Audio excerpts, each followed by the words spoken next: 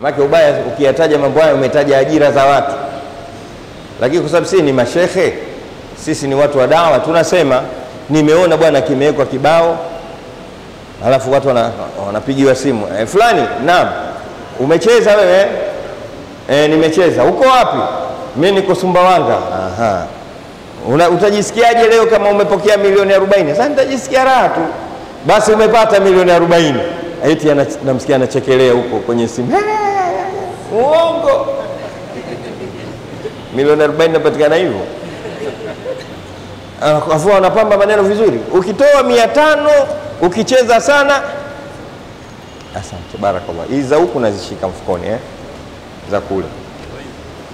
Tumeelewana vizuri? Ukitoa mia tano unacheza mia tano tu unapata milioni arobaini. Wewe angalia kila Jumatano clouds kuanzia saa mbili usiku na mbele utakuta hii.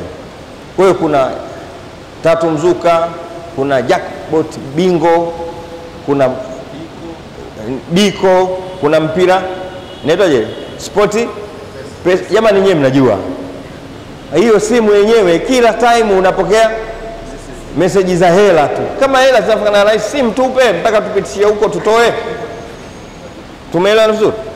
Na watu wote sasa wataki tena kufanya kazi, toka hapa nje, fanya kama unakwenda kule kwangu kule nilipozaliwa. Ukimaliza tu hapa kwenye bodaboda, ile nyumba yote unaiona pale, kamari tupu, juu na chini na katikati na nje na ndani eh? na wamejaa vijana pale wa Kiislamu tele na mikeka yao, kamari ile. Wanatoka hapa kuswali, wanatoka hapa kuswali, wanakwenda pale.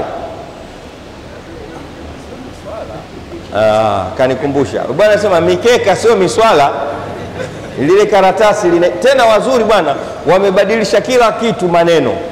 Mkeka unafikiri wa kukalia wa kuswalia, ndio wa kuliwa huo. Maana tunakutandikia mkeka tupate kukula vizuri, na mmoja mmoja anapata kinadira nadira, ghafla anajitokea kweli na milioni kumi, alafu nakwambia hela nyingi hizo utazifanyia nini hizo? Hela hizo? Niliona moja hapo hiyo siku hiyo, kapata mtu milioni moja. Umepata, umefurahi, umefurahi. E, utaifanyia nini? Sasa biashara. Wakamwambia, lakini unaweza ukacheza tena ukacheza tena uka, ikazidi hiyo kweli bwana, akacheza tena akapata milioni tatu na ile moja nne. Wakamwambia unaona rahisi, unaweza ukacheza tena, akacheza tena akapata tatu na zile nne, unaweza kucheza tena, akasasa milioni kumi kucheza kaliwa zote.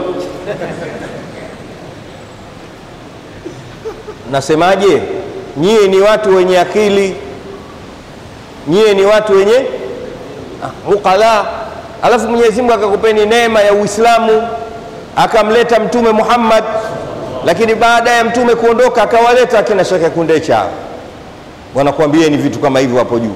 Ebu sasa na leo kakwambieni, hii dini ni fitratullah, ni njia ya Mwenyezi Mungu Subhanahu wa Ta'ala. Nikwambie ndugu yangu unaonisikiliza, wewe kabla hujakuja hapa duniani Mwenyezi Mungu ashaitengeneza na kukupangia riziki yako kabla hujazaliwa. Kumbe kwa maneno ya Mwenyezi Mungu, kabla hata mbingu na ardhi haijaumbwa, riziki yako wewe tayari Sheikh Saidi ishaumbwa na ipo.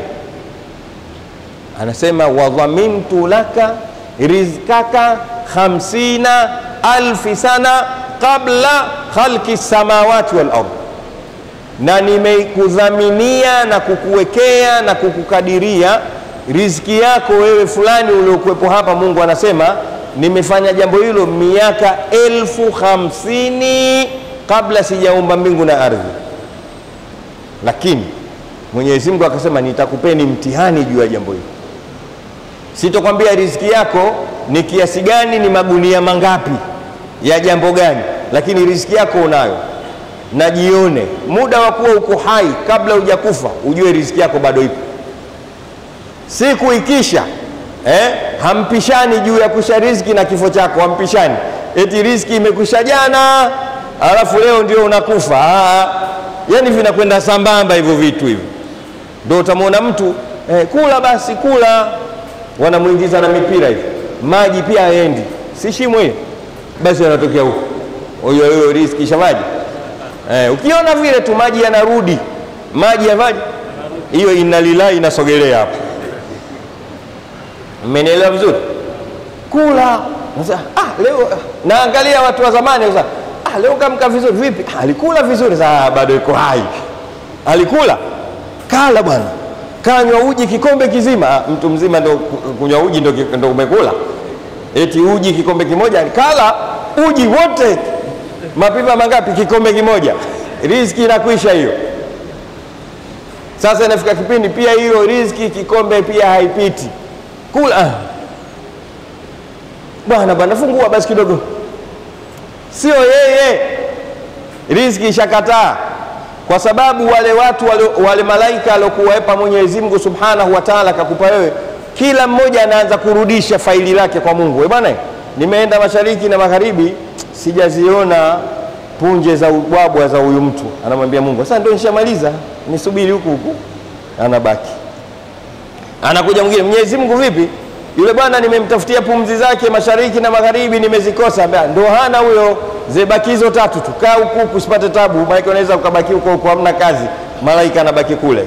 Wa maji anasema hivyo hivyo, wa hela anasema hivyo hivyo, wa watoto anasema hivyo hivyo. Mwisho anatokea mmoja anaitwa Israeli. Yule sasa ndio riziki yake kukuua. Tumeelewana vizuri? Kwa hiyo usiwe na wasiwasi na riziki. Mtihani umetupata sisi, tunaogopa njaa. Hivi njaa na Mungu kinachotisha ni kitu gani eh? Njaa na Mwenyezi Mungu kipi kinatisha? Mwenyezi Mungu, Mwenyezi Mungu Subhanahu wa Ta'ala arudishe raui zetu eh? Mwenyewe anasema lanabluwannakum bishaiin min alkhawfi waljui wa naqsin min alamwali walanfusi wathamarati wabashiri sabirin. Akasema nitakupeni mtihani, hujui leo kama mtakula si eh? Huo mtihani we subiri tu. Inawezekana umezoea kula saa mbili asubuhi, lakini leo utakula saa nane, lakini utakula sawa. Hapa najua kuna watu wengi mchana huu mchana tangu asubuhi hawajaonja. Usiwe na wasiwasi, saa kumi Shabani utakula sawa. Eh, Shabani ikifika saa kumi na kama haipo riziki yako saa kumi magharibi tunatangaziwa kifo chako.